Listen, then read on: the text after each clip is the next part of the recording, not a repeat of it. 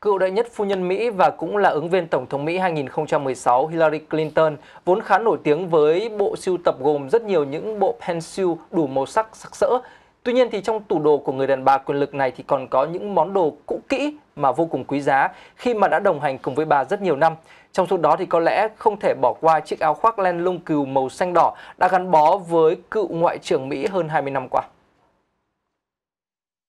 Câu chuyện xoay quanh chiếc áo khoác này có lẽ đã không trở nên ồn ào như thế nếu không phải là vào cuối tháng 11 vừa qua, một số người bắt gặp bà Hillary mặc chiếc áo lông cừu đầy màu sắc đi dạo trong một khu rừng ở gần nhà ở New York.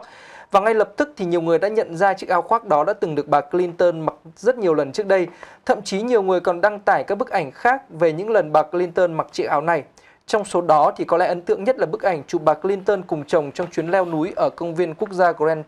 Teton tại bang Wyoming năm 1995. Những bức ảnh về chiếc áo lập tức được chia sẻ nhanh chóng ở trên khắp các trang mạng xã hội, cùng với những lời ca ngợi về việc giữ gìn món đồ trong suốt 20 năm qua của người đàn bà quyền lực. Bên cạnh đó thì nhiều người xác định rằng là chiếc áo khoác len này là một sản phẩm của hãng thời trang Đan Mạch Pentagonia.